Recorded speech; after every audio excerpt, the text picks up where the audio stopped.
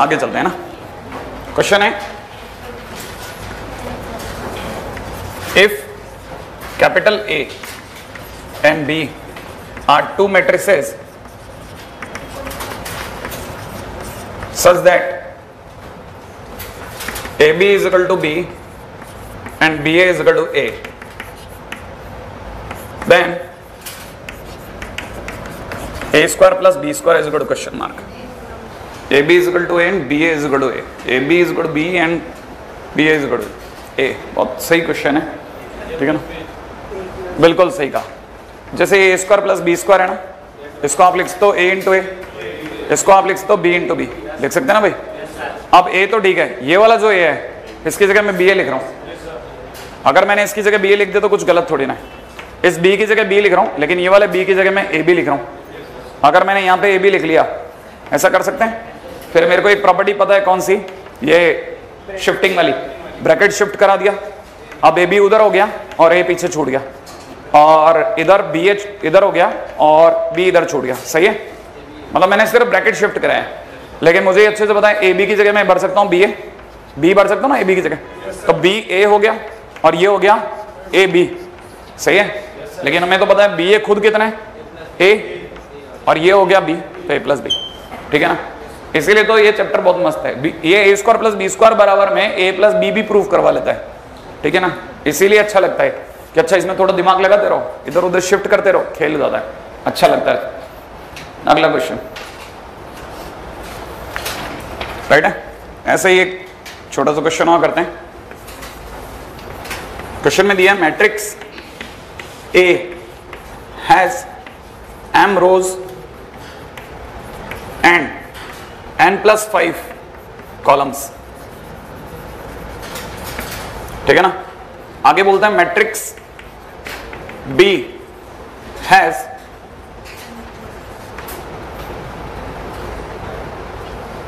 rows and 11 minus n columns आगे बोलता है if A B and B A both defined find m and n सही है? M और एन दोनों की वैल्यू बताओ क्या होगी? अगर एम की जो पहली मैट्रिक्स है, उसकी एम रोज और एन प्लस फाइव कॉलम्स हो, ठीक है, और दूसरे की एम रोज और ये है है ना? मैं आपको पहले बता दूँ, जैसे मेरे से किसी ने कहा एम ए का ऑर्डर क्या होगा? तो मैं बोलूँगा m cross n cross n plus five यही होगा ना भाई? M cross n plus five और बी का ऑर्डर क्या होगा? एम तो रोज है और 11 माइनस एन कॉलम्स हैं। इसका मतलब ये होगा। अब आप दिमाग लड़ाइए कि जिस दिन भी ए बी डिफाइंड होगा फॉर ए बी जिस दिन भी ए बी डिफाइंड होगा, उस दिन ये और ये इक्वल होगा। इसका मतलब मैं बोलूँगा दुनिया को कि n plus five is equal to m सही है? और जिस दिन भी बी ए डिफाइंड होगा, अगर जिस बी ए डिफाइंड हो गया तो बी ए का 11 माइनस एन और इसका एम बराबर होना चाहिए। तो 11 minus m is equal to m होना चाहिए। इसका सीधा मतलब m minus n is equal to कितना? 5 और इसका मतलब m plus n is equal to कितना? 11 तो ऐड कर दूँ? ऐड करते ही एन एन कट गया तो m is equal to eight और n is equal to three question done नहीं है? एज सिंपल एज दैट है ना? अगली बात नेक्स्ट क्वेश्चन अगला क्वेश्चन है if A is equal to दे रखा one zero one two then अगला कहता है then show that A square is equal to three A minus two I and then show that A to bar eight is equal to 255a minus 254i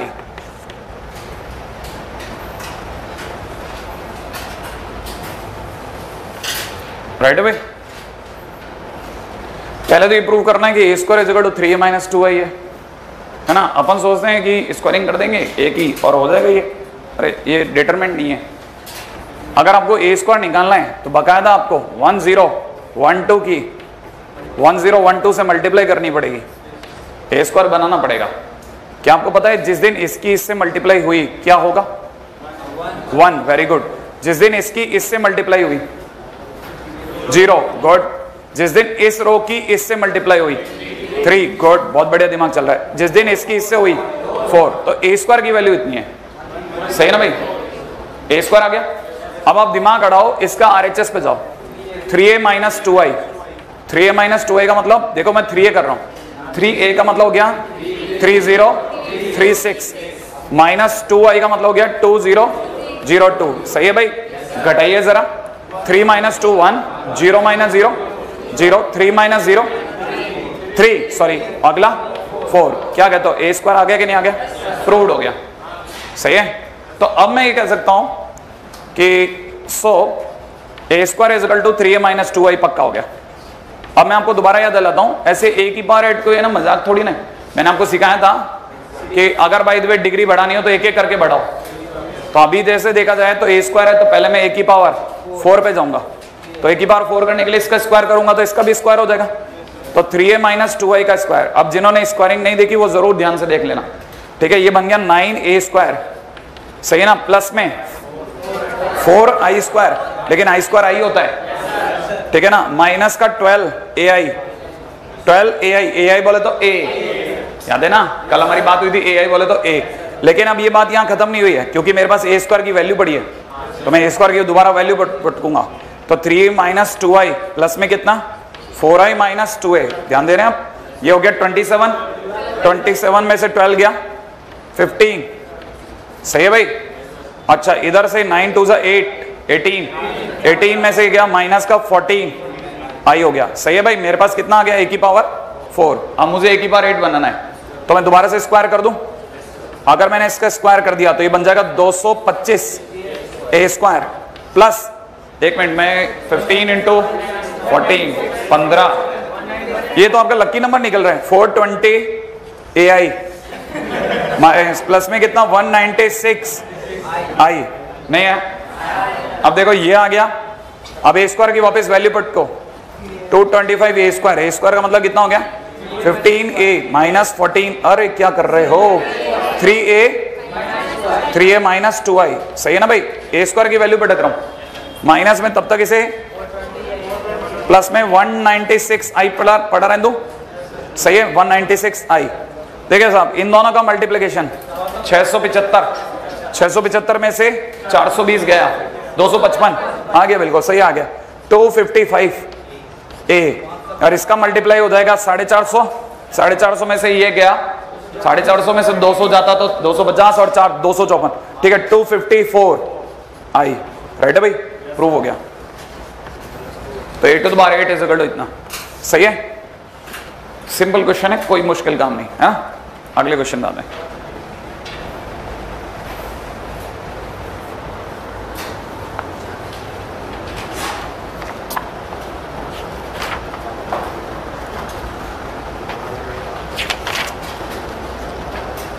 ठीक है? अब अपन आते हैं अगले point की ओर। पिछली बार अपन डिटरमेंट पे चल रहे थे, याद है आपको? डिटरमेंट में हम लोगों ने शायद प्रॉपर्टीज़ में चार प्रॉपर्टीज़ लिख दी थी। अब मैं पांचवी प्रॉपर्टी ला रहा हूँ फिफ्थ प्रॉपर्टी ठीक है ना? और मैं आपको बता दूँ ये इस चैप्टर में बहुत सारी चीज़ें ऐसी है ना, जो सीधा अटैक होगी। अगेन मोस्ट इंपॉर्टेंट ठीक है ना? मोस्ट इंपॉर्टेंट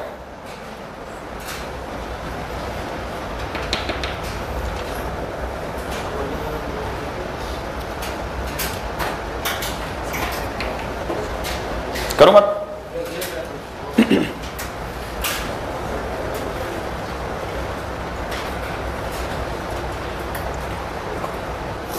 आइए, बहुत इंपॉर्टेंट पॉइंट है।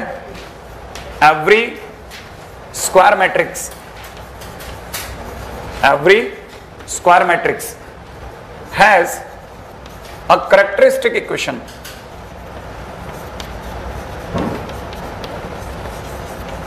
हर स्क्वायर मैट्रिक्स की जितने भी स्क्वायर मैट्रिक्स आप सोच सकते हो, हर स्क्वायर मैट्रिक्स एक उसकी खुद की एक करेक्टरिस्टिक इक्वेशन को फॉलो करती है।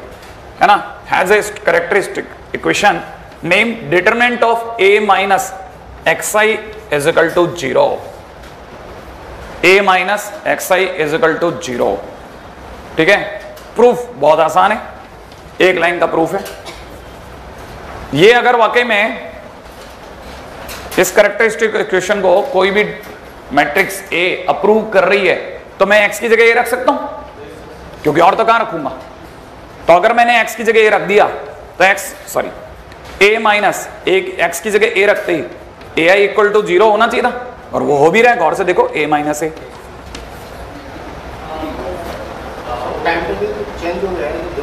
अच्छा टाइम टेबल देख लेना, जाते टाइम पे। अरे, एक मिनट रुको हाँ? हाँ वो उसका पैसा आपका है। कोल्ड ड्रिंक मंगवाओ आगे आप, क्या और ठीक है। मैंने पिछली बार खाकरा पार्टी दी थी। आजकल खाकरे आते हैं ना टेन रुपीज़ में। दस रुपए में पाँच तो मैंने दो दो रुपए बांट दिए। ठीक है तो बच्चों ने चाय मंगा ली थी। इकट्ठे चाय मंगा ली थी। एक खाकरा हो चाय, बढ़िया। आप इधर दिमाग लगाओ, है ना? अच्छा हो गया प्रूव है ना? अगले, बस इस पे आ जाओ, बहुत इंपॉर्टेंट चीज़ है, बहुत इंपॉर्टेंट चीज़। अब अपन क्वेश्चन पे बात करते हैं। राइट है भाई? नेक्स्ट पॉइंट के ऊपर आइएगा। अब इसका क्वेश्चन क्या है, वो सुनिएगा।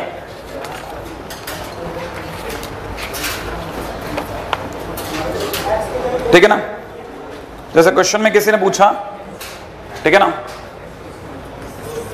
फॉर मैट्रिक्स ए तीन, दो, एक एक, ठीक है ना? Find A comma B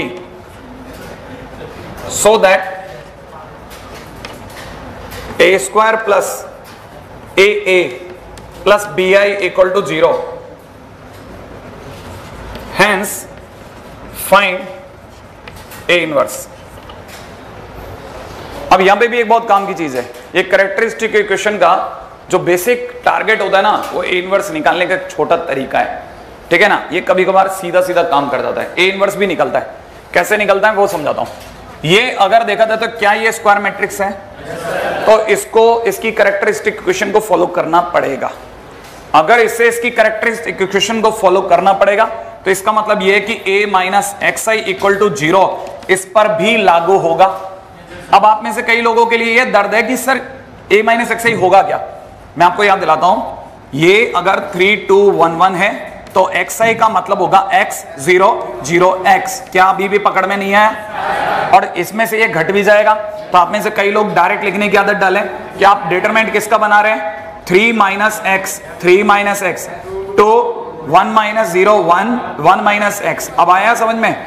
equal to zero और जैसे डिटरमेंट आया, फिर तो डिटरमेंट की वैल्यू भी आ जाएगी। अगर डिटरमेंट की वैल्यू आएगी तो कैसे आएगी? Three minus X multiplied with one minus X minus two equal to zero आ जाएगी? आप में से जो जो भी मल्टीप्लाई जानते हैं X square minus four X plus three minus two बोले तो plus one equal to zero क्या ये बात सही है? ये बात आपके पकड़ में आ गई? अगर ये छोटी सी बात ये पकड़ में आ गई तो क्योंकि ये करेक्टरिस्टिक इक्वेशन है ए की तो इसे ए सेटिस्फाई करेगा?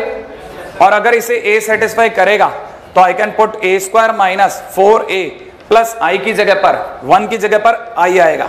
बड़े ही ध्यान से सुनिएगा। पकड़ में आइए आपके बात। अब ये करेक्टरिस्टिक इक्वेशन के ए से सेटिस्फाई कराने पर, वन की जगह कितना आएगा?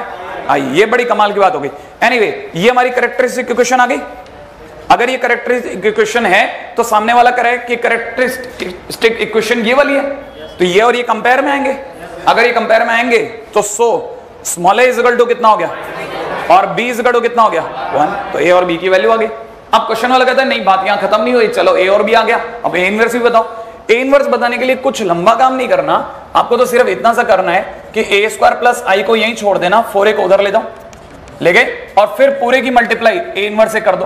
तो ए इनवर्स से ए स्क्वायर की मल्टीप्लाई ए दे देगी। ए इनवर्स की आई से मल्टीप्लाई ए इनवर्स दे देगा। और ए इनवर्स की ए से मल्टीप्लाई फोर आई दे देगा। तो ए इनवर्स इजिकल टू कितना हो गया? Four I minus A. तो आप चाहोगे तो ए इनवर्स भी निकल सकता है। कहानी पकड़ में आई? अब आप में से कई लोगों ने एसी क्वेश्चन के अंदर कई छोटी छोटी बातें बहुत ध्यान से सुनी। क्या? एक तो वन की आई लिखने की आदत। एक्स में जब अपन ए पुट करते हैं, क्योंकि इसको ए सेटिस्फाई कर सकता है। क्योंकि है भी उसी की करेक्टरिस्टिक इक्वेशन ये बात आपके समझ में आ गई? तो इसे सेटिस्फाई कर सकता है ए इनवर्स आ जाएगा। सर कल 10 से 2 बजे तक काउंटर रहेगा डाउट पूछने के लिए। हर पैकेट तो मेरी क्लास का क्या होगा? क्लास अपनी क्लास कितने बजे है? हाँ तो मेरे से तो आप डाउट पूछने साढ़े बारह से पहले मत आना। सही बात है, एकदम। पॉइंट है। उन्हें क्या पता इसका मोशन में एडमिशन हुआ है। अभी पढ़ेगा।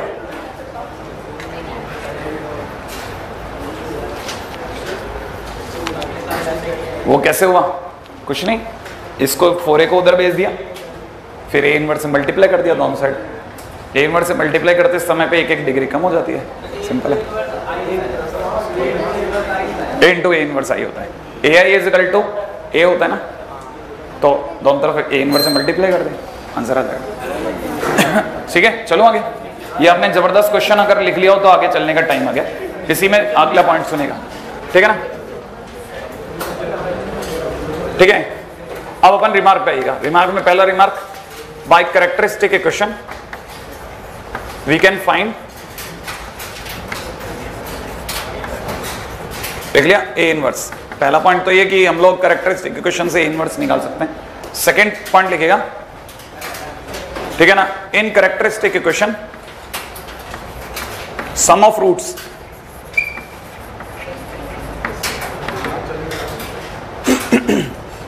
sum of root is equal to में ट्रेस ऑफ़ ए ठीक है ना भाई? And product of root is equal to में determinant of A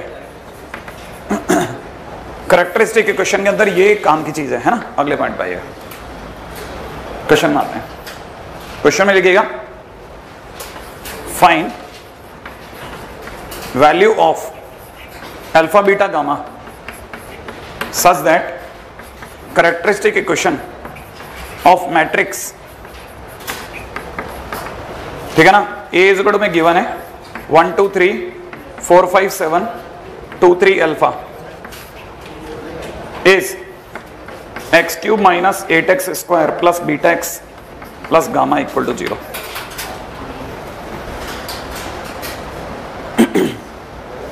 अगर इसकी करेक्टरिस्टिक इक्वेशन ये है तो आप मुझे अल्फ़ा, बीटा, गामा बता दें। राइट पहली चीज़। अगर ये वाली बात सही है, जो ये सोच रहे हैं कि ये वाकई में इसकी करेक्टरिस्टिक इक्वेशन है तो मुझे एक अच्छे से पता है कि इसके अंदर, है ना, जो सम ऑफ़ रूट होगा, इसका जो भी सम ऑफ़ रूट होगा, ठीक है, वो किसके बराबर होगा? ट्रेस ऑफ़ ए हम में से कोई बता सकते हैं इस इक्वेशन का sum of root are eight कोई देख के बता देगा, यार, ये रहा एट सम ऑफ़ रूट कितना है? Eight and that is equal to में trace of A trace of A का मतलब one plus five plus alpha इसके बराबर होना चाहिए। इसका मतलब alpha is equal to two लो, चलो, एक काम तो बन गया। नहीं समझ में आया। अब दूसरी बार पाओ। आप में से कोई मेरे को बताएगा इसका प्रोडक्ट ऑफ़ रूट इसका प्रोडक्ट ऑफ़ रूट इस इक्वेशन का। नहीं। Minus gamma. कितना? Minus gamma. अब आप एक बात बताइए product of root is equal to में कितना? Determinant of A determinant of A का मतलब one two three four five seven और आगे कितना? टू थ्री टू क्योंकि अल्फ़ा की वैल्यू टू आ गई ना। अब अपन डिटरमेंट की वैल्यू निकाल देते हैं। आप में से जिसको डिटरमेंट की वैल्यू खटाखट सोचनी है, सोचो। कि अपन कह सकते हैं ना गामा इज़ इक्वल कितना हो गया? वन मल्टीप्लाइड बाई माइनस ग्यारह। सही भाई माइनस टू मल्टीप्लाइड विद आठ माइनस चौदह माइनस सिक्स सही है?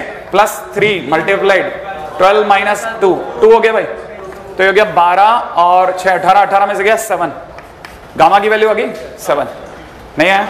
अब मेरे पास अल्फ़ा और गामा दोनों आ गए अब बस एक बंदा बचा है बीटा एक ही बंदा बचा है बीटा सही है ना भाई?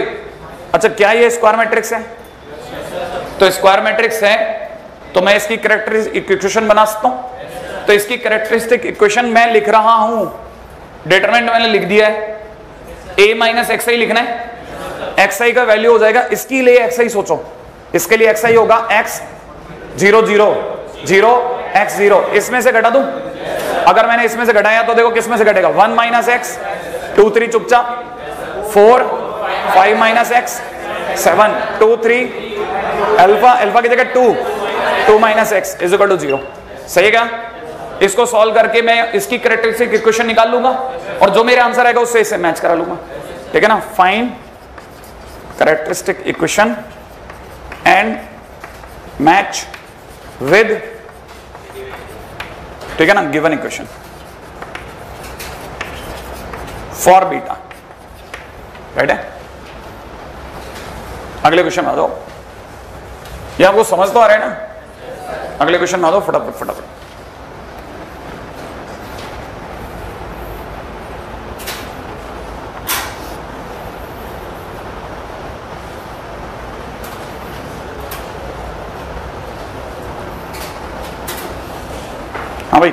अगला क्वेश्चन है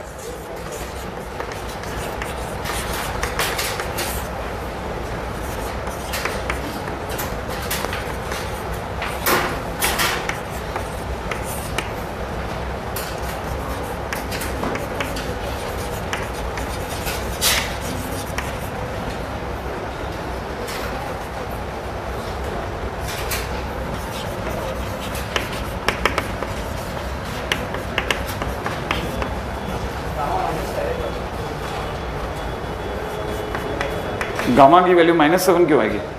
माइनस गामा है yes exactly find A inverse and prove that A inverse is equal to A square minus six A plus eleven I if alpha equal one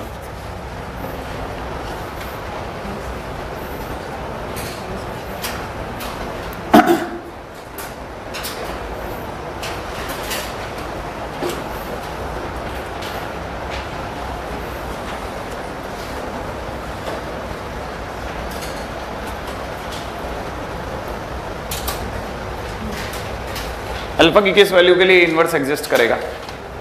सही है? अल्फ़ा की, देखो, अपन अगर भाई इसका नॉर्मल नज़रों से देखते हैं ना तो अपन पता क्या करते हैं? अपन इसका ए इन्वर्स बनाते हैं। क्योंकि अपने को पता है ना, अपन इन्वर्स बना सकते हैं। ठीक है तो वो भारी पड़ जाता ए इन्वर्स बनता भी नहीं है बिना अल्फ़ा के सोचे। जबकि अब की बार क्या तरीका है ना, मैं इसकी करेक्टरिस्टिक इक्वेशन सोच रहा हूँ। अगर मैंने इसकी करेक्टरिस्टिक इक्वेशन सोची तो मुझे पता है ना, मुझे सिर्फ़ लिखना है two minus X zero minus alpha five alpha minus X zero अगले नंबर पे लिखना है zero alpha three minus X. और फिर क्या करना है? इक्वल टू ज़ीरो कर देना। यहाँ तक पकड़ना आ गया?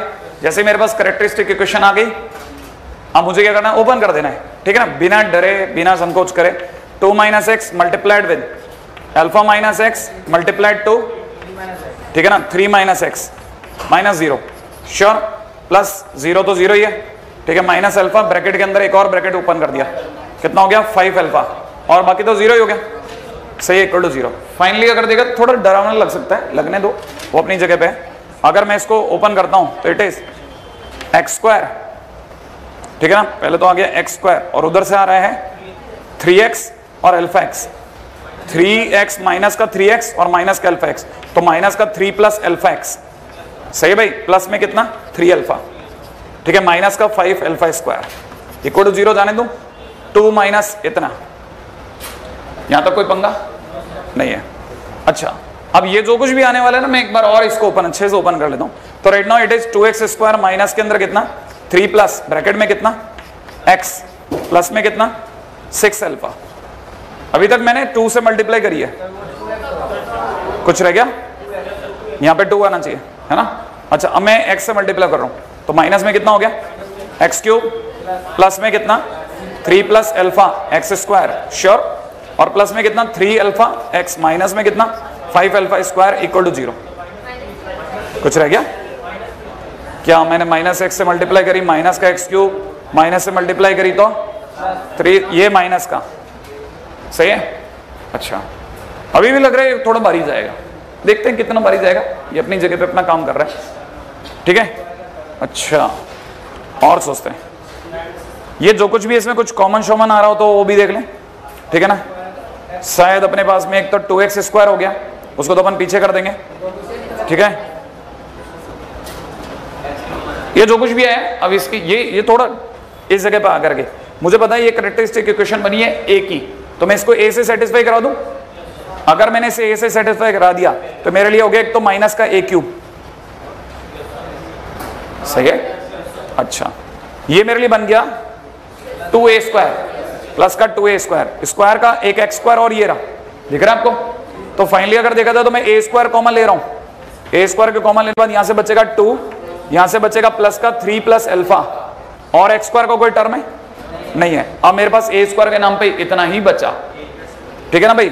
अब मैं एक्स के नाम वाले पे a रख रहा हूँ। X के नाम पे अगर मैंने a रख दिया तो प्लस का ए ब्रैकेट के अंदर जाऊँगा तो minus six minus two alpha sure अच्छा और a रखते ही माइनस का थ्री अल्फ़ा और कुछ बचा?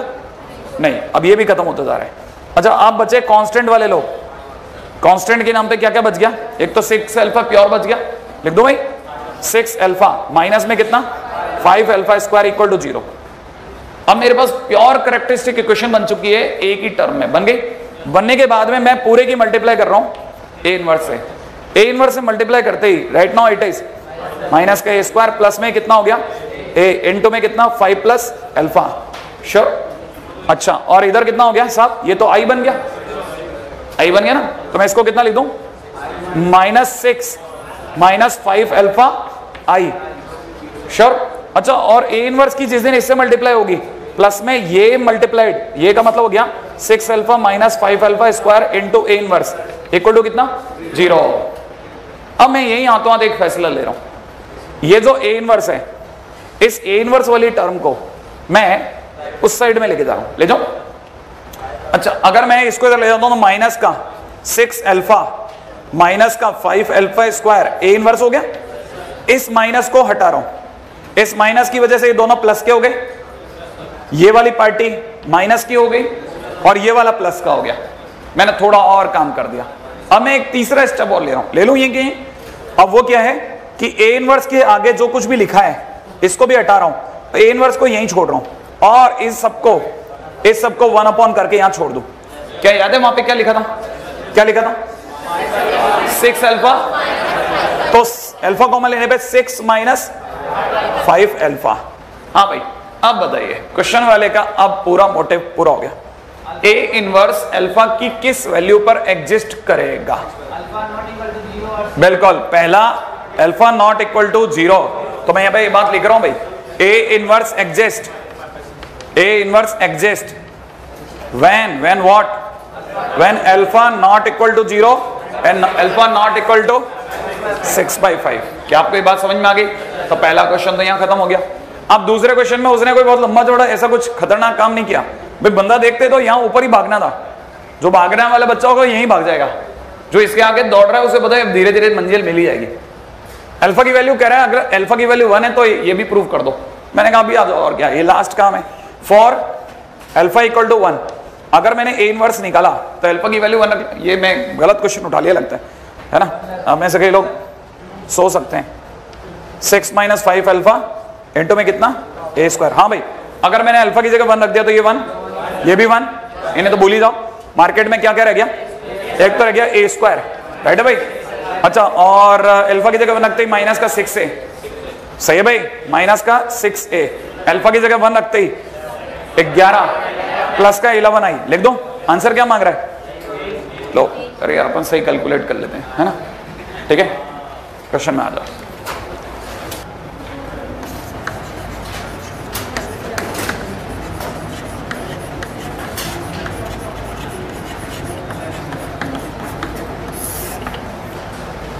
अगले पॉइंट पर आते हैं।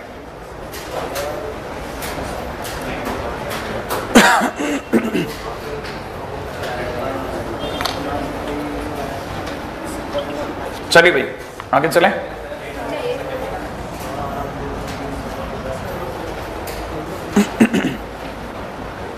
आप भी पूरा एक एक स्टेप कॉपी करते हो। पहला कॉपी किया, दूसरा और सीधा आखिरी पे आ जाओ ना। क्या आप भी दिमाग लगा रहे हो? वो वैसे ही होना है कैलकुलेशन में भी यही होना है। क्यों दिमाग लगाते हो? मैं तो इसलिए, हमारे को इसलिए बताना पड़ता है क्योंकि मैं तो सॉल्व कर रहा हूँ, रट के थोड़ी ना है। ठीक है, मेरे को तो दिखाना है कि ऐसा ऐसा होगा, भाई, आप इतना फड़फड़ाए नहीं तो भाई, इस जगह पे अपन यहाँ पे ही कम करते आएँगे। और ये आप करते भी हो एग्जामिनेशन में भी तो यही करते हो आप। वहीं हाथों हाथ उसको काटा, उसको नीचे ले गए, फिर वहाँ से काटा, उसकी वैल्यू इधर ले आए। ये तो करते हैं अपन, एक लाइन में तो तीन लाइन बना देते हैं। चलिए आगे चलते हैं ना। सबसे पहले फ़र्स्ट नंबर पे लेकर आ रहे हैं स्टैंडर्ड मैट्रिक्स में आइडम पॉटेंट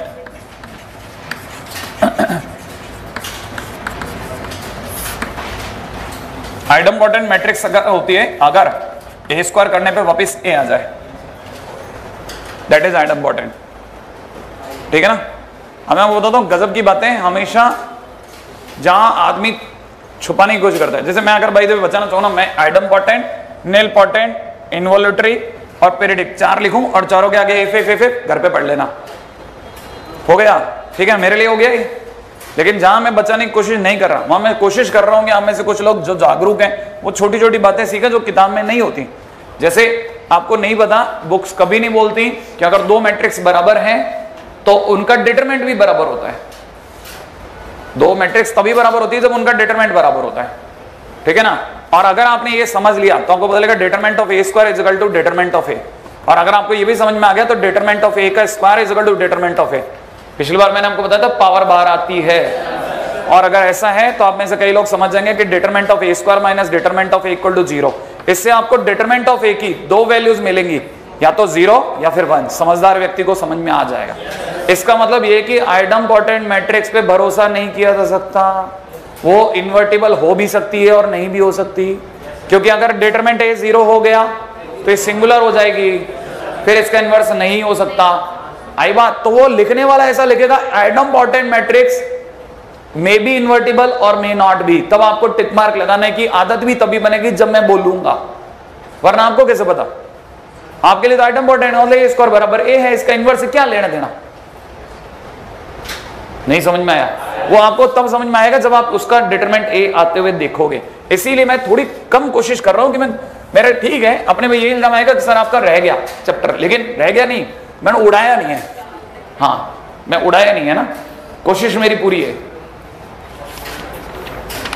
आइटम पोर्टेंट के बाद में अगले नंबर पे है। इन्वोल्यूटरी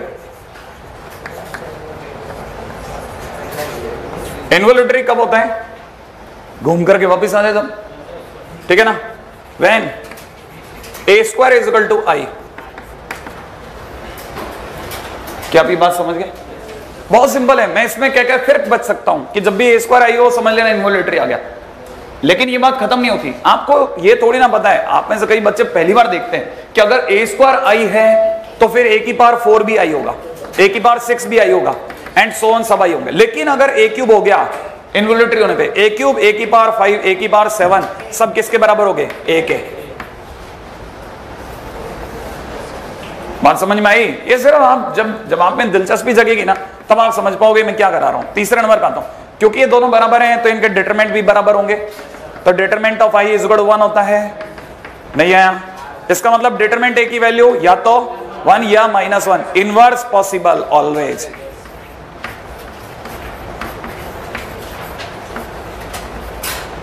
समझ गए? नहीं आया सही है? अगले पे पधारो। आप तो लिखते चलना भाई प्लीज़ है ना? थोड़ा स्पीड में लिखना पड़ेगा। समझना और लिखना, दोनों पैरेलल चलाइए अभी। इन्वोल्यूटरी हो गया। इन्वोल्यूटरी के बाद में अगले नंबर पे क्या आता है? इन्वोल्यूटरी के बाद में अगले नंबर पे नील पोटेंट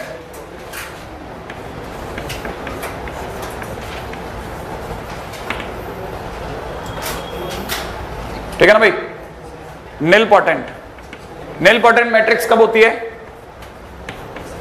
जब आपको पता चला कि डिटरमेंट कोई सॉरी मैट्रिक्स की किसी कोई डिग्री ज़ीरो दे गई। मान लो हमने डिटरमेंट ए का क्यूब करा और ज़ीरो आ गया तो आप कहोगे हाँ साहब, ये नील पोटेंट थी। ठीक है ना? एंड के इज़ नोन एज इंडेक्स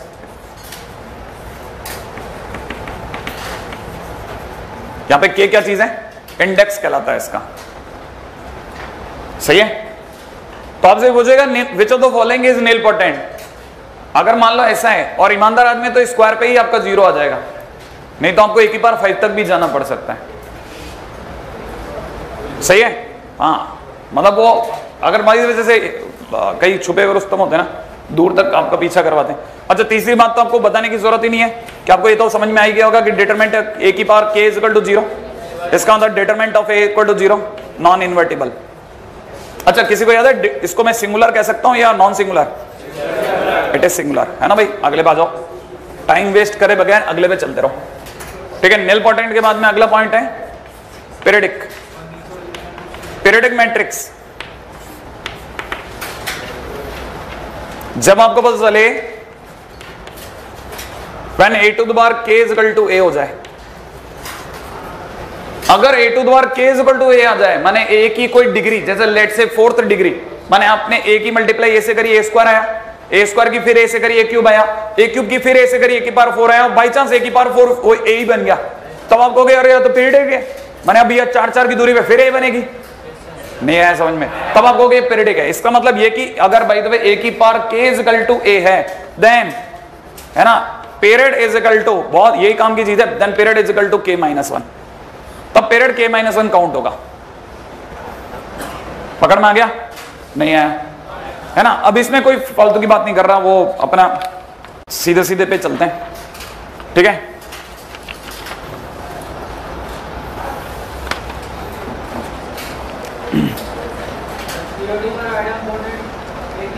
क्या? नहीं, इसके अंदर वो आता है। वो भी पीरियड है हाँ।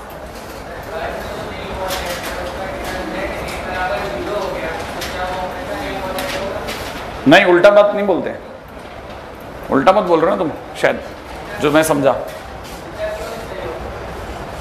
तुमने ये बोला कि अगर किसी का डिटरमेंट ए ज़ीरो हो जाएगा तो क्या वो निलपोटेंट होगा? लेकिन डिटरमेंट ए तो किसी के भी कारण से ज़ीरो हो सकता है ना। है ना? मतलब डिटरमेंट ए अगर ज़ीरो हो गया तो उसकी पावर के ज़ीरो होगा। लेकिन अगर उसकी पावर के ज़ीरो होगा तो ए की पावर के का डिटरमेंट भी ज़ीरो होगा, क्या भरोसा? है ना? हाँ। मैं क्वेश्चन लाता हूँ। बहुत अच्छा क्वेश्चन है, बहुत सिंपल क्वेश्चन है। ए इज़ पेरिडिक ठीक है ना? विद पीरियड दे रखा है थ्री ठीक है ना? And A to the power six plus B is two given है आई फाइंड ए बी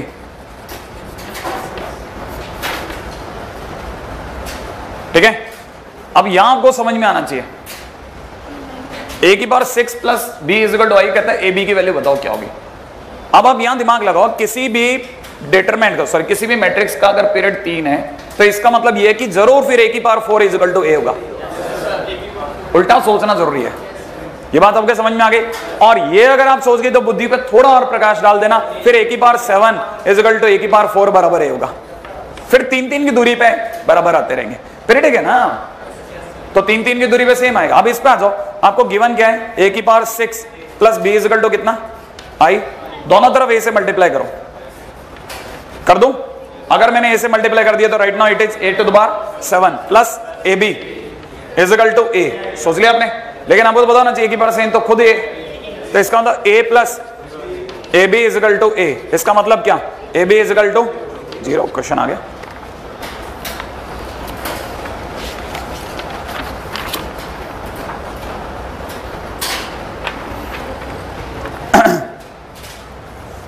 अगले बार जाइए फटाफट से। ये बाहर कोई है क्या? हाँ?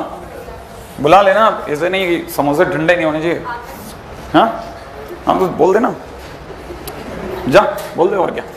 इसमें क्या? Determine all diagonal matrix of order three ठीक है ना? विच आर आइटम पोटेंट ठीक है ना भाई? तीन ऑर्डर की सभी डिटरमेंट डायगोनल मैट्रिक्स के बारे में बताइए। ये एक्चुअली क्वेश्चन ये नहीं है। ये क्वेश्चन है number of determinants number of determinants है ना? कितनी ऐसी तीन ऑर्डर की डायगोनल मैट्रिक्स हैं जो आइटम पोटेंट हो सकती हैं? नंबर ऑफ़ कितने हो? कितनी हो सकती हैं? देखिए साहब, अगर बाय द वे ये डायगोनल मैट्रिक्स है तो आप में से किसी किसी को, क्योंकि अब ये तो प्रैक्टिस टाइम है। किसी को याद है? डायगोनल मैट्रिक्स की photo D one zero zero zero D two zero zero zero D three और ये कह रहे आइटम पोटेंट है। आइटम पोटेंट होने पर ए स्क्वायर बराबर ए होना चाहिए। ए स्क्वायर बराबर ए होते ही मैं क्या करूँगा ना, मैं इन दोनों की मल्टीप्लाई करूँगा। D one zero zero D two हाँ ज़ीरो डी टू ज़ीरो याद आया? अगर आपको याद है तो ए स्क्वायर मैं लिख लेता हूँ zero zero D three multiplied with is equal to में इतना D one zero zero zero D two zero zero zero D three.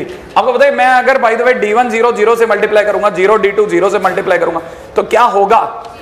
पिछली बार मैंने सिखाया था आपको स्क्वायर हो जाएगा। तो फिर मैं टाइम क्यों वेस्ट करूँ? मेरे को पता है मल्टीप्लाई आपको ध्यान है। डायगनल की डायगनल से मल्टीप्लाई में इसका स्क्वायर ही होना है। अगर ये दोनों बराबर है तो फिर इसको इधर ले आता हूँ। अगर इसको इधर ले आए तो सर होगा क्या? अगर मैं इसको इधर ले आया तो दुनिया की नज़रों में हो जाएगा डी वन का square minus D one. Zero zero. Zero D two का square minus D two zero zero zero D three का square minus D three is equal to zero. Zero होने का मतलब समझते हो ज़ीरो या ज़ीरो नहीं है, ये क्या है? नल मैट्रिक्स अरे ज़ीरो माने null matrix matrix to matrix compare होता है। और अगर ये नल मैट्रिक्स है तो सबकी वैल्यू ज़ीरो। तो इसका मतलब मेरे को यहाँ से पकड़ में आ गया, एक तो डी वन का square minus D one equal to zero. Similarly D two का square minus D two equal to zero. इसी तरह से डी थ्री का स्क्वायर डी थ्री का square minus D three equal आगे बताओ अब तो। डी वन की वैल्यू कितनी आई? ज़ीरो कमा वन नहीं आया। डी वन की value zero one D two की वैल्यू ज़ीरो वन इसी तरह से डी थ्री की वैल्यू ज़ीरो वन अब आप दिमाग लड़ाओ कि अपने पास में हर किसी के लिए दो दो बंदे हैं। इसका मतलब समझा? इसका मतलब इस पोजीशन इस पोजीशन इस पोजीशन के लिए। इसके लिए कितने लोग बैठे हैं? दो। इसके लिए दो। इसके लिए दो। बताओ कितनी मैट्रिक्स पॉसिबल है? Eight eight eight matrix possible है, नहीं है? हर पोजीशन को ऑक्यूपाई करने के लिए दो इसके दो इसके और दो इसके। कुल मिलाकर के मेरे पास में मैट्रिक्स कितनी आई? Matrix is equal to two two bar three बोले तो eight two into two into minus one भी कराऊँगा। हाँ नल मैट्रिक्स वाली। कल को हर एक जगह पर। ज़ीरो ज़ीरो ज़ीरो भर गया। तो फिर डायगनल बचेगा कैसे? डायगनल में एक को छोड़ना पड़ता है ना? नहीं है। तो वो केस को हटाना पड़ेगा, जिसमें सब में ज़ीरो आ जाए। ठीक है ना? तो इसलिए overall matrix number of matrix will be seven ठीक है? अगले बात फटाफट। हाँ चलेगा। हाँ भाई नेक्स्ट पॉइंट हो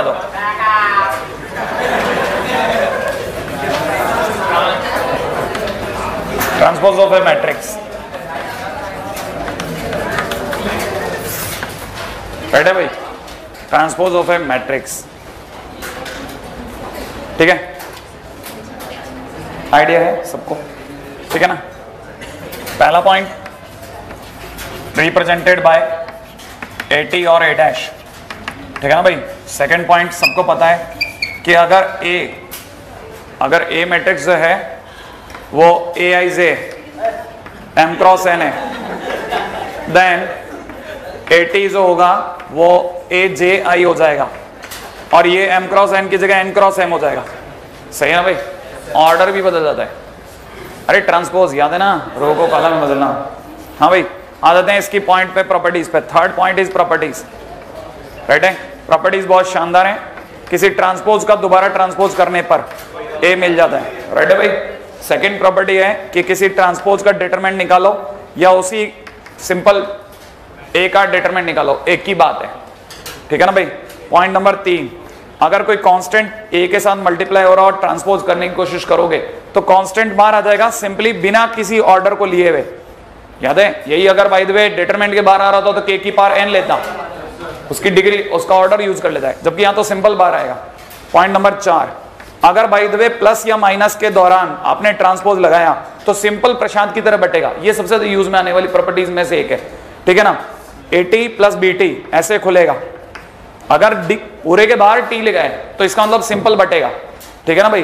पॉइंट नंबर पाँच। लेकिन अगर मल्टीप्लीकेशन में है ए इन टू बी और ट्रांसपोज करने की सोची तो उल्टा बटेगा। बी पे पहले ए पे बाद में। बात समझ में आई आपको? ए बी का ट्रांसपोज करा तो बी का ट्रांसपोज इंटू ए का ट्रांसपोज होगा। अगर आपको ये बात समझ में आएगी तो मैं जनरलाइज कर रहा हूँ, थोड़ा बड़ा बना रहा हूँ। एबीसीडी अगर एबीसीडी का ट्रांसपोज हुआ तो डी का पहले सी का ट्रांसपोज बी का ट्रांसपोज ए का ट्रांसपोज ऐसे खुलेगा, उल्टा खुलता है। मल्टीप्लाई में उल्टा खुलता है प्लस में सिंपल बटता है। ठीक है ना? ये कोई पावर नहीं है ट्रांसपोज हो रहा है। सही है? ए प्लस बी तक आगे। पॉइंट नंबर छह पे आता हूँ। पॉइंट नंबर छह कहता है कि अगर किसी की पावर के का ट्रांसपोज निकालो, इससे बढ़िया पहले ट्रांसपोज कर दो, फिर पावर निकालो। एक ही बात है। राइट भाई? अब आते हैं पॉइंट पे। ठीक है? हाँ भाई, अब आ जाते हैं। ये तो वही यहाँ तक इसका थ्योरी ठीक है? जैसे सबसे पहले आता हूँ। मेरे से किसी ने कहा, ए ए, टी का ट्रांसपोज कितना होगा? ये क्वेश्चंस का छोटा क्वेश्चन ठीक है? सिंपल क्वेश्चंस अगर किसी ने कहा, ए ए, टी बराबर कितना होगा? तो मुझे पता उल्टा खुलेगा। इंटू हो रहा है ना? ए, टी का टी इंटू ए का टी। और ए टी का टी ए तो ए इंटू ए टी होगा। बात समझ में आई आपको? सेकंड इसी का स्मॉल क्वेश्चन सेकंड है ए माइनस ए टी का टी बराबर कितना? राइट है? अगर किसी ने ऐसा कर दिया तो बताए ना, ये टी कैसे खुलेगा? Simple A T minus A T का टी सही भाई? इसको क्या पढ़ेंगे? ए टी माइनस ए नहीं है सिंपल खुलता जाएगा. ठीक है? पॉइंट नंबर तीन. पॉइंट नंबर तीन है ए बी टी टी करिए आप. ये कर लेंगे ना? और क्या? इतना छोटे क्वेश्चन है। हो जाएगा।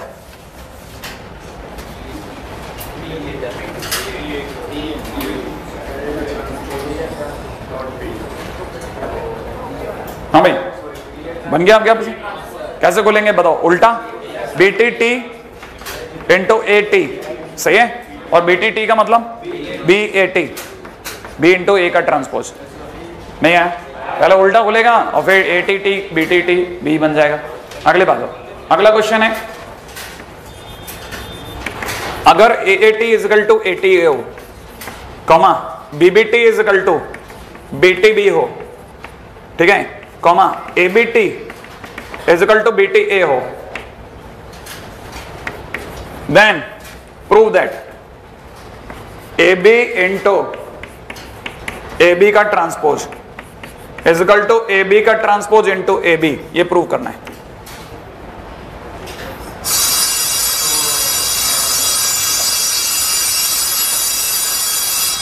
A B into A B का transpose is equal to A B का ट्रांसपोज इंटू ए बी जैसे हर बार प्रूफ करने के टाइम पे अपन एलएचएस उठाते हैं। या आरएचएस उठाते हैं एलएचएस उठा रहा हूँ।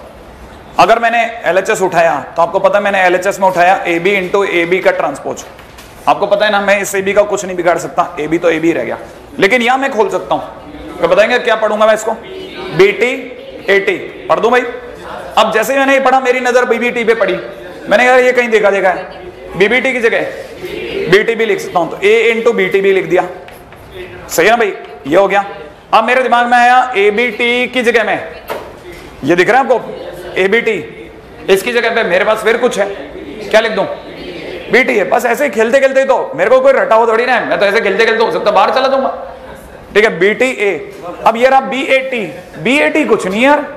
बी ए टी के नाम पे कुछ भी नहीं तो मैं क्या करूँगा? ऐसे बाहर आऊँगा, देखो। इसको बाहर बुलाया। मुझे पता है, ये लिखा हुआ है ए बी टी बराबर बी टी ए ये लिखा ना भाई? अब दोनों तरफ़ ट्रांसपोज काटूँगा। क्योंकि अगर ये दोनों बराबर तो उनका ट्रांसपोज भी आपस में बराबर होगा। और ट्रांसपोज करते टाइम पे उल्टा खुलेगा। तो ये हो जाएगा बी टी टी बोले तो बी ए टी समझ में आ गया? Is equal to A T B सही है ना? और ये वो जगह जिसकी मेरे को ज़रूरत थी B A T B A T की जगह में कितना लिखता हूँ? ए टी बी लिख दो भाई? अच्छा अगर ऐसा हो गया तो ए ए टी की जगह बिल्कुल ए ए टी की जगह मैं क्या लिखता हूँ? ए टी है। तो बेटे इंटू ए टी ए और ये वो जगह आ गई जहाँ मैं पहुँचना चाह रहा था। ए बी को तो मैंने कर दिया, तू तो किनारे हो जा। और इनका टी छीना, छीनते ही ये उल्टे हो गए। ए बी इधर आ गया और टी इधर चला गया और ए बी, और ये आर एच एस बन गया। सही है? ऐसे। मतलब कुछ नहीं माइंड गेम है। चलते जाओ चलते जाओ, ऊपर देखते तो चलते जाओ। वैल्यू पुट करो पुट करो, जहाँ पे अड़े, वहाँ ट्रांसपोज मार दो। सही है?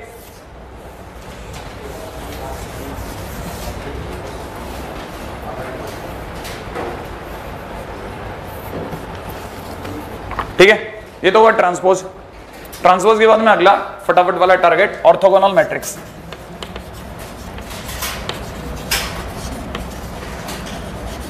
that is not in advance ये जेई एडवांस में नहीं है ना? मेंस में है और अच्छा है है ना?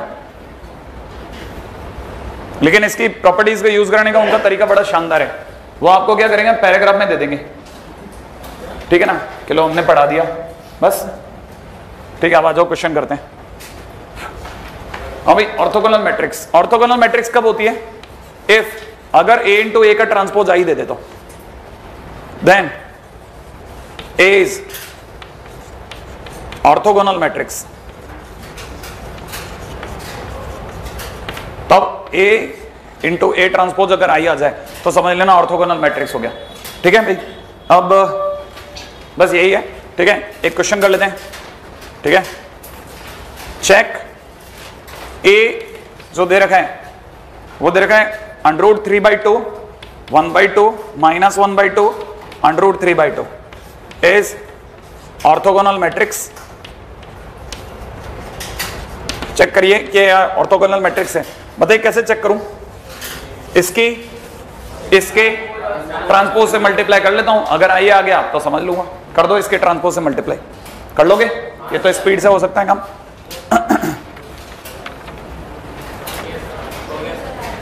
आई आ गया वाकई में। हाँ? देखिए साहब, जिन्होंने मतलब यहाँ थोड़ा आलस का प्रदर्शन ज़्यादा कर लिया, वो भी देख ले भाई। Minus one by two, root three by two, इसका ट्रांसपोज करते टाइम पे, root three by two, minus one by two इधर आ जाएगा, और one by two, root three by two इधर आ जाएगा। सही है ना? आप कितना भी टेंशन लो लास्ट में वन ज़ीरो ज़ीरो वन आ जाएगा टेंशन मत लेना। सही आ जाओ आगे ठीक है? हाँ। अरे three by four one by four सही है? Minus three root three by four plus root three by four ऐसा आएगा, देख लेना। सही है? हाँ भाई। अगले क्वेश्चन तरफ़ आ रहा हूँ। ठीक है? अगला क्वेश्चन पॉइंट नंबर दो। सेकेंड पॉइंट है ना? Determinant of orthogonal matrix is equal to one और माइनस वन ध्यान से, है ना भाई? इसका मतलब समझे आप? किसी भी ऑर्थोगोनल मैट्रिक्स का डिटरमेंट वैल्यू हमेशा वन और माइनस वन होगी। कैसे पक्का करूँ? अरे कुछ नहीं ए ए टी बराबर कितना है? आई, इसका मतलब इसका डिटरमेंट ले लो ना। इसका डेटर अरे ये बहुत अच्छी ये अच्छी बात होती है, पता है? जब अपन ऐसे करते हैं ना क्वेश्चन तो अपने भाव खुल जाते हैं। क्यों? क्योंकि मेरे को क्या होगा ना, मैं क्वेश्चन में थोड़ी ना सोच रहा हूँ। मैं तो सोच रहा हूँ कि इसको वन प्रूव करना है। कैसे करेंगे? कुछ नहीं, मेरे को ये याद आना चाहिए कि जब भी दो का मल्टीप्लाई होती है तो डिटरमेंट अलग अलग होता है। देखो, इस बहाने से मैंने काम तो किया, और ये वन हो जाएगा। डिटरमेंट ऑफ़ आई वन नहीं है अब मुझे ये याद आना चाहिए कि ट्रांसपोज का डिटरमेंट और ए का डिटरमेंट एक ही बात होती है। तो मैं इसकी जगह वापस ए लिखूँगा। नहीं आया समझ में? तो इसका मतलब डिटरमेंट ऑफ़ ए का स्क्वायर इज़ टू वन इसका मतलब determinant of A is to इधर वन और माइनस वन क्वेश्चन खत्म। आया? देखो, एक एक बहाना मिला। ठीक है ना? कि मेरे को बार बार बार बार सोचना पड़े। मैं तभी तो सोच पाऊँगा। ऐसा थोड़े है कि क्वेश्चन के अंदर सोचना है। क्वेश्चन में तो सोचना अपने आप आ जाएगा वहाँ पर अगले क्वेश्चन का बताओ if A and B are orthogonal. Then prove that AB is orthogonal. Right भाई if A and B are orthogonal, then prove that AB is orthogonal. हाँ भाई। पॉइंट ये नहीं है कि मेरे को प्रूव करना है ए बी इज़ ऑर्थोगोनल कोई मेरे को मैथमेटिक्स में बता सकता है what I need to prove to prove एक मिनट एक मिनट एक मिनट टू प्रूव क्या है? ए बी इंटू क्योंकि अगर ए बी ऑर्थोगोनल होगा तो ए बी इंटू हाँ ये ट्राई करना चाहिए। मेरे प्रूव क्या करना है? ये प्रूव करना है। A B into A B का transpose is equal to I अब अगर ये प्रूव करना है तो इसका एलएचएस उठा लो। सही है? तो आपको बोला, आपने लिखा हुआ ए बी इंटू इसका ये हटा दूँ? और इसको उल्टा करके ओपन कर दें? बीटी एटी सही है ना भाई? जैसे प्रूव करूँगा, मेरी नज़र बीबीटी पे पड़ेगी। और मुझे पता है कि बी कैसा है। ऑर्थोगोनल है। तो इसका मतलब B B T is to I है। तो मैं इसकी जगह क्या भर दूँ? आई अगर मैंने आई भर दिया तो ए आई ए टी हो गया। ठीक है? और ए आई ए टी का मतलब ए आई का मतलब? तो ए ए टी हो गया। और एक खुद ऑर्थोगोनल है। इसका मतलब ए टी की जगह क्या भर सकता हूँ? आई तो इसकी जगह आई आ गया। ठीक है is to R H S पकड़ में आया? अगला क्वेश्चन ठीक है next question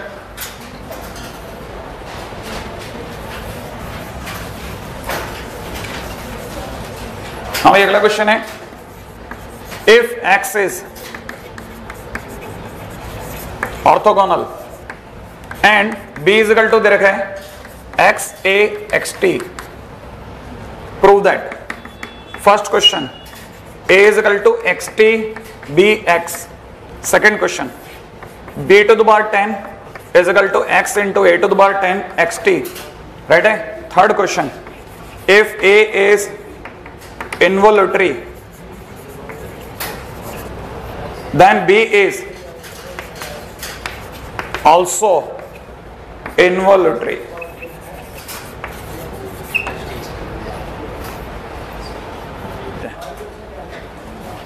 X into A into X T right है भाई बी इज़ गढ़ में यहाँ तक की कहानी पकड़ में अब देखो पहली चीज़ मेरे को क्या प्रूव करनी है कि ये बराबर है सही है ना फ़र्स्ट थिंग उस पर आता हूँ इसका मतलब मैं इसका आरएचएस उठा रहा हूँ भाई आरएचएस क्या लिखा हुआ है एक्स टी बी एक्स यही तो लिखा है क्या डर है इसमें? एक्स की जगह एक्स बी तो दे रखे ना? भरो। बी की जगह बी की वैल्यू भरता हूँ। बी की जगह भरो, जरा कितना लिखना है? X A X T into X लेकिन मुझे है एक्स कैसे ऑर्थोगोनल है। तो एक्स टी एक्स बोले तो आई ए की जगह एक्स टी एक्स बोले तो आई और I into A A I into A A into I A तो फाइनली मेरे पास ए आ गया। हो गया? R H S L H S सही भाई? एल एच एस प्रूफ हो गया। एल एच एस के बाद में अगला पॉइंट बड़ा काम का है। ये कई बार पेपरों में आ चुका है। ऑलरेडी आई टी भी ले चुके हैं इसको। तरीका उनका बड़ा स्मार्ट तरीके से खेलते हैं ये लोग। लेकिन मैं आपसे पूछता हूँ कि कितने लोगों को ये पता है? कि उसने मेरे से क्या पूछा? बी टू बार टेन और मैं टेन तक नहीं जाता। पहले स्क्वायर पे जाऊँगा। ठीक है ना? For B to the ten first find B square सही भाई? सेकंड क्वेश्चन अब देखिए बी इजिकल टू कितना दे रखा है? बी इजिकल टू दे रखा है एक्स ए एक्स टी तो स्क्वायर इजिकल टू क्या होगा? इन्हीं का दो बार मल्टीप्लीकेशन और क्या होगा? अरे बी स्क्वायर में क्या करते हैं? बी इंटू बी तो मेरे को लिखना चाहिए X A X T into X A X T नहीं आया? इन दोनों को देखते मन में आया। आई तो यहाँ लिख देता हूँ X A I A into X T लिख दो? अच्छा ए आई ए तो it is X A square X T तो सोचो बी स्क्वायर इतना आया। बी स्क्वायर होने पर ए का स्क्वायर हो गया है। नहीं ध्यान आया। और बी तक एक ए था। और बी स्क्वायर होते ही ए स्क्वायर तो मैं लिख दू similarly B to दोबार ten is equal to X A to दोबार ten x T नहीं आया समझ में। पैटर्न थोड़ी ना बनाऊँगा। बस बन गया तो पैटर्न बनाना था। क्या? वो मैसेज आ गया। कितने बजे? Before ten o'clock every class is cancelled तो? अच्छा सिर्फ़ डाउट काउंटर है। तो अच्छा किया ना अपन है ना? ओवरऑल सही काम करा था, पता है, पुण्य मिल गया, देख लो अच्छा हुआ। हाँ।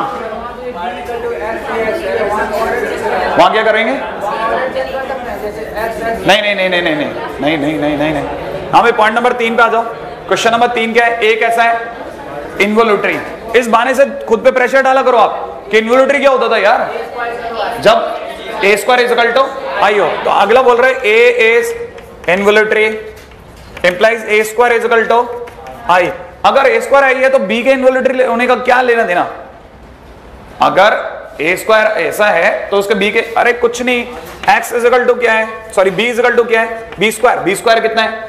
अरे X A square X T और ए स्क्वायर कितना है? आई तो मैं यहाँ लिख देता हूँ एक्स आई एक्स टी और ये कितना हो गया? एक्स आई बोले तो? एक्स इंटू एक्स टी और X into X T I तो बी स्क्वायर भी तो आई है। नहीं है। कहानी पकड़ में आई? इसका मतलब अगले बंदे ने अगर सिर्फ़ ये क्वेश्चन पूछा होता तो आपको बी स्क्वायर पहले निकालना पड़ता। नहीं है। हाँ ये तो बाई चांस अपन क्रम में चल रहे थे हमारे पास में बी स्क्वायर पड़ा था तो मैंने खटक से ने सोच लिया। कहानी पकड़ में आ रही है। आगे चलते रहेंगे फटाफट से। ठीक है? बस लास्ट फ्यू मिनट्स हैं। नहीं, मैं टाइम से छोड़ दूँगा यार। एक, मेरे को इतनी दूर तक तो है ना भाई? किसी की बस वस हो तो निकल जाना, है ना? मेरे चक्कर में रुकना मत। सिमेट्रिक एंड स्क्यू सिमेट्रिक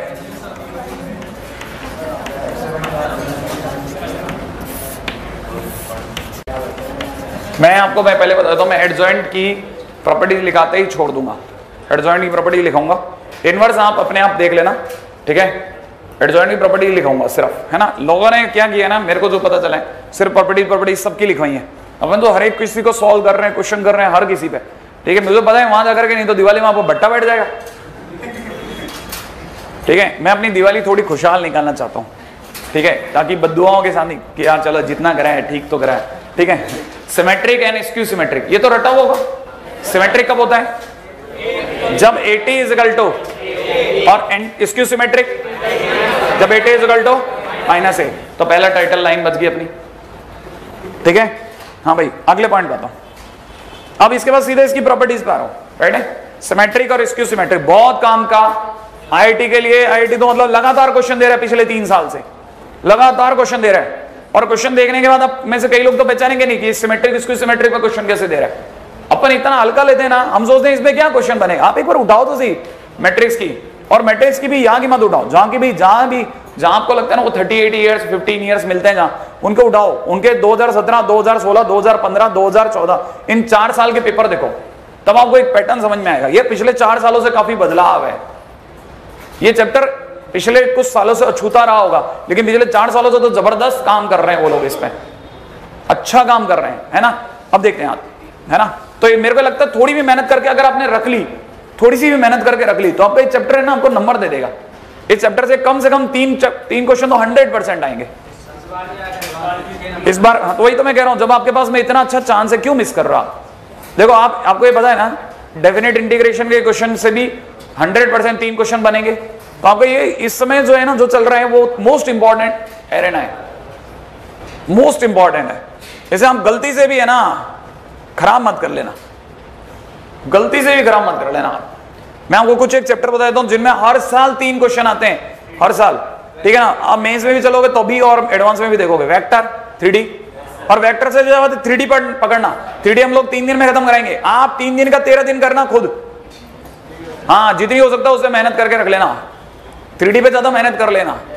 उसके क्वेश्चंस लगा लेना अपने बोर्ड के। अरे वो एनसीआरटी लगा लेना तो भी आपका मेंस मेंस के एडवांस तक निकल जाएगा। वो बहुत अच्छे क्वेश्चन है उसके। आपने देखी नहीं है एनसीआरटी करी है क्या? उसका अगर आपने थ्री अगर बिल्कुल घोट के भी रखा है ना तो you'll find such a good question बहुत अच्छे क्वेश्चन है उसमें। ठीक है, नहीं तो एमपी बोर्ड की बुक लगाओ ना अगर जिनके पास एमपी एमपी के बच्चे हो एमपी बोर्ड की बुक लगाए। ठीक है, आर शर्मा मतलब लेकिन आर शर्मा ने क्या किया ना, जैसे उसको पता चला मार्केट में ये कट हो रहा है तो भी उसने भी कटिंग करी है। ठीक है ना तो इससे बढ़िया आप फिर कंपटीशन में कंपटीशन की बुक लगा लेना। अरे, सबके घरों में सिंगेज मिलती है, सबके पास पड़ी है। ठीक है, उसको यूज़ करो ना। तो ये दो तीन चैप्टर है, जैसे मैट्रिक्स हो गया। मैट्रिक्स पे अच्छा वर्कआउट करके रख लो।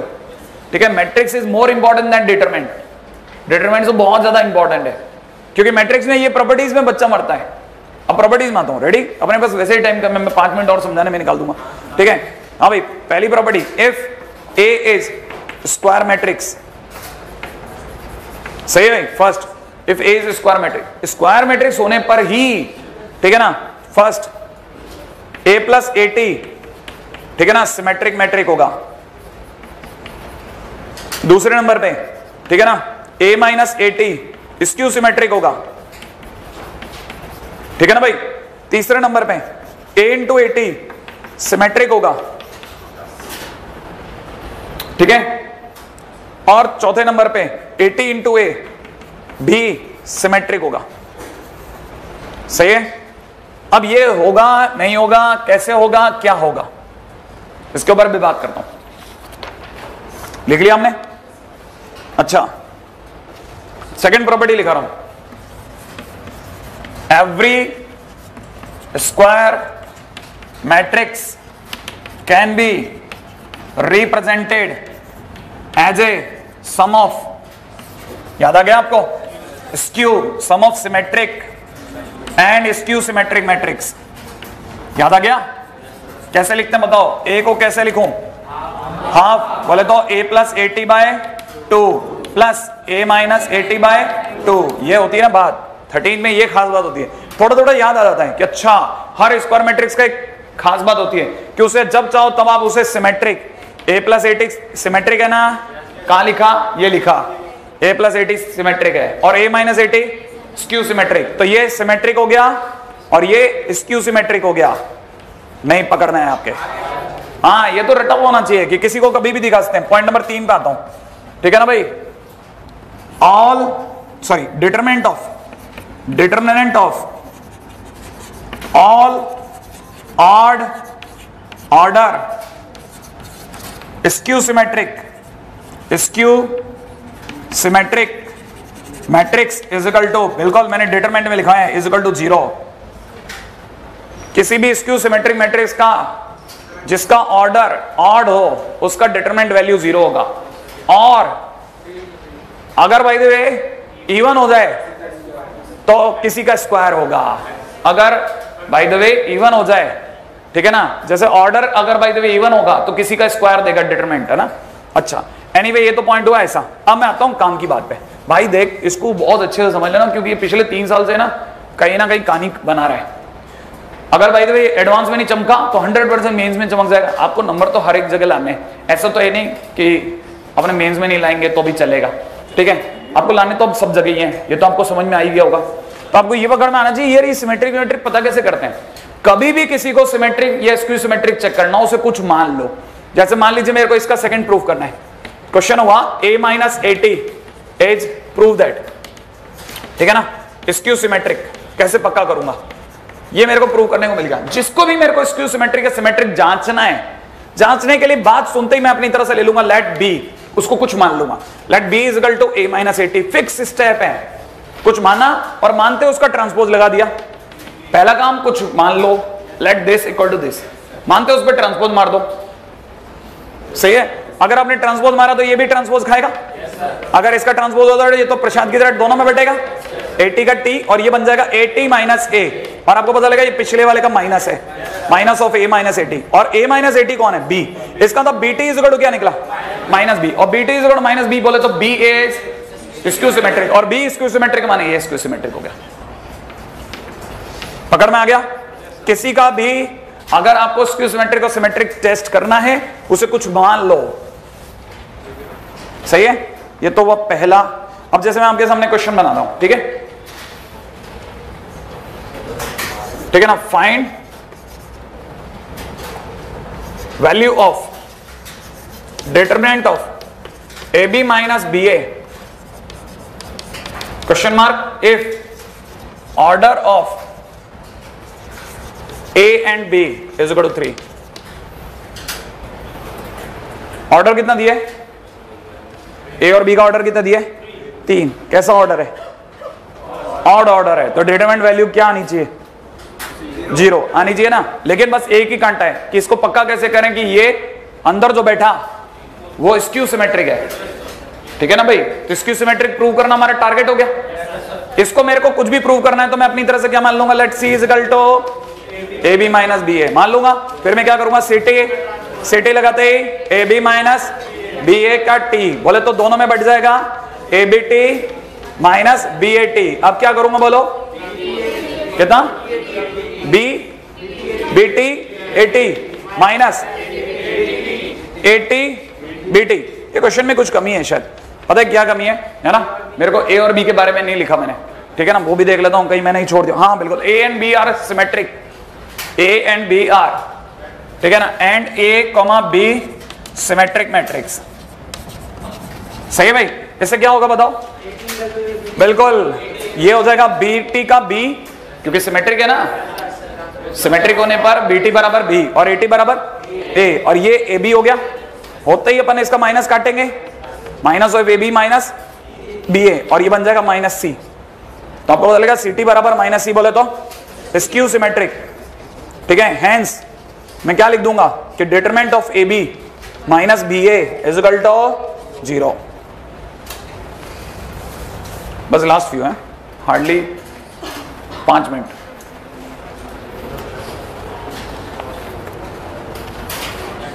ठीक है?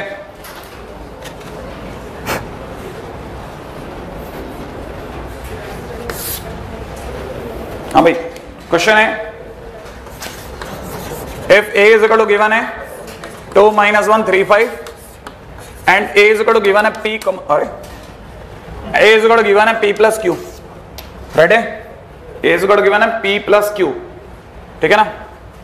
Where P is symmetric and Q is skew symmetric ठीक है ना? क्वेश्चन वाला कहता है फाइंड p कोमा क्यू हाँ भाई आइडिया कोई? कैसे निकालेंगे? कोई मेरे को बताएगा? अगर ए किसी पी प्लस क्यू के बारे में बता रहा है, जो कि एक सिमेट्रिक और एक स्क्यू सिमेट्रिक तो पी कौन है? हाँ तो P is equal to A plus A T अब देखो साहब A plus A T divide by two A की जगह क्या भर दू? Two minus one three five यहाँ क्या भरूं? Two three minus one five P आ गया। सॉल्व तो कर लोगे। क्यू के लिए क्या करूँगा? इन्हीं दोनों के बीच। माइनस डिवाइड बाई टू कर लोगे ना? नहीं याद आया। किसका यूज़ कर लिया मैंने? प्रॉपर्टी का। अगली बात तो जाओ। बस।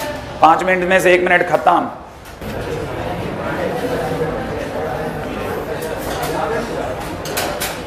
ठीक है भाई? Remark if A is symmetric matrix then A to the bar N is also symmetric matrix ठीक है ना भाई?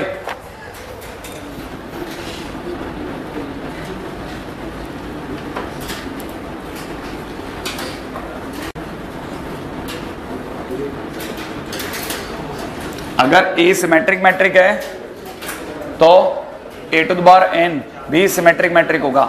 बेटा भाई? हाँ भाई। अगर ए अपने आप में स्क्यू सिमेट्रिक है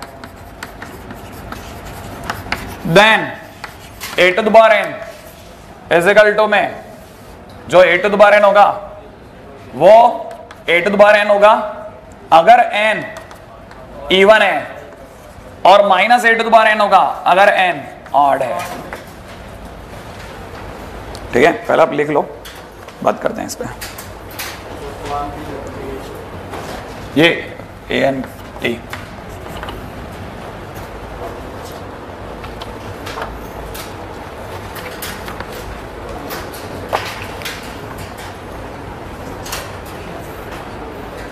ठीक है? मैं क्वेश्चन में आ रहा हूँ। इसको आप पैक कर लेना डब्बे में। अच्छा कोई मेरे को बताएगा ये ये कैसे कैसे आया हुआ? ये कैसे आया हुआ? कि ये कैसे आया सर? अरे, कुछ नहीं सी मान ले। है ना? एन टू द बार टी ले लिया। सही है? अब एक काम कर टी को अंदर एन को बाहर कर दे। लेकिन ये माइनस ही हो गया। नहीं आया। और अगर ऐसा है तो एन जिस दिन इवन होगा ये ए टू दोबारा एन बन जाएगा। और जिस दिन एन ऑड होगा minus A to the bar N question खत्म। आ गया? नहीं आया।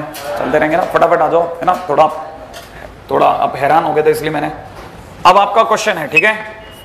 ए इज़ स्क्यू सिमेट्रिक ये क्वेश्चन आप कर दो फटाफट से। Then prove that B T A B is also skew symmetric करिए। अगर ए स्क्यू सिमेट्रिक है तो B T A B is also skew symmetric जिसका भी सिमेट्रिक या स्क्यू सिमेट्रिक टेस्ट करना हो उसे कुछ मान लो और उसका ट्रांसपोज कर दो। अपने आप रास्ता देगा।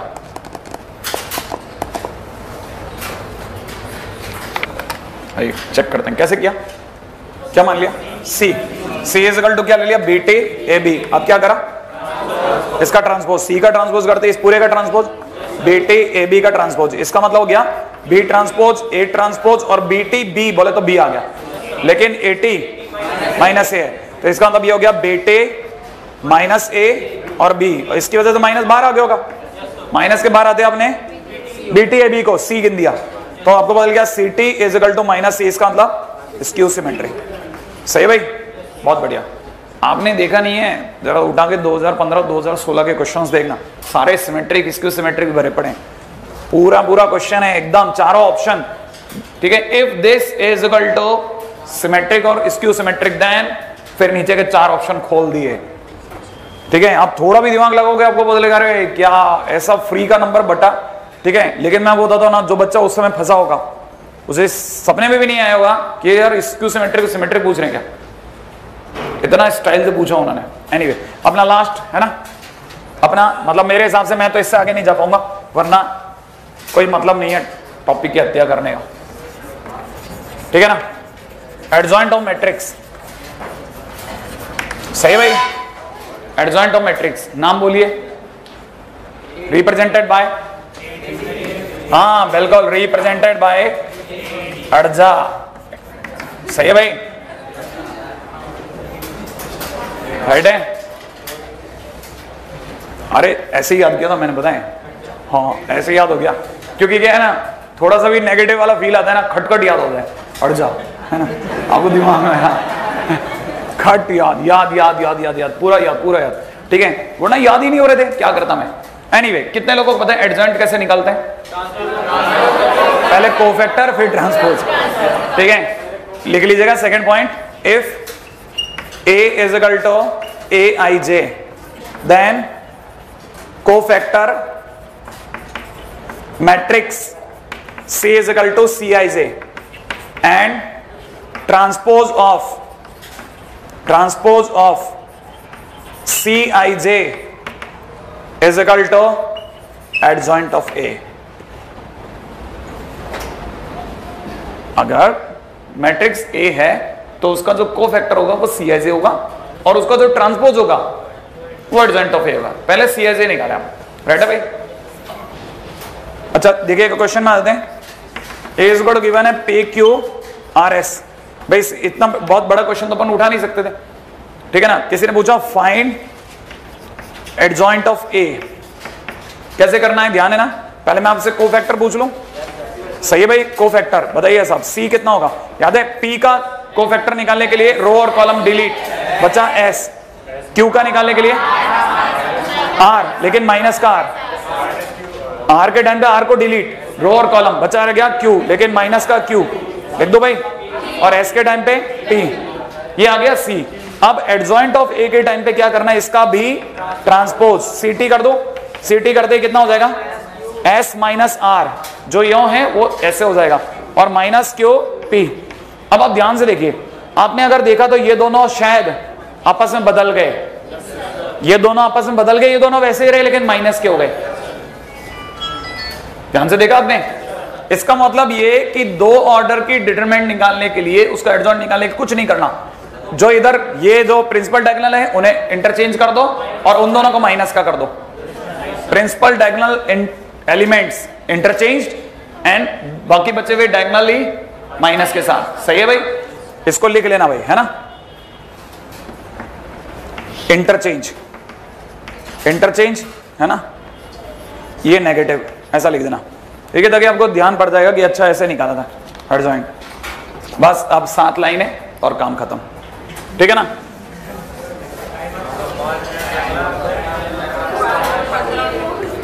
है, ऐसा हो गया? ए इंटू तुमने अपने नीचे बुला लिया होगा ना? Into adjoint of A as to A I second है ना? एडजॉइंट ऑफ़ ए का determinant as to determinant A to दार N minus one third point adjoint of adjoint of A ये इसमें लिखा ही नहीं है, पता है? इस बच्चे ने adjoint of adjoint of A लिखा ही नहीं था।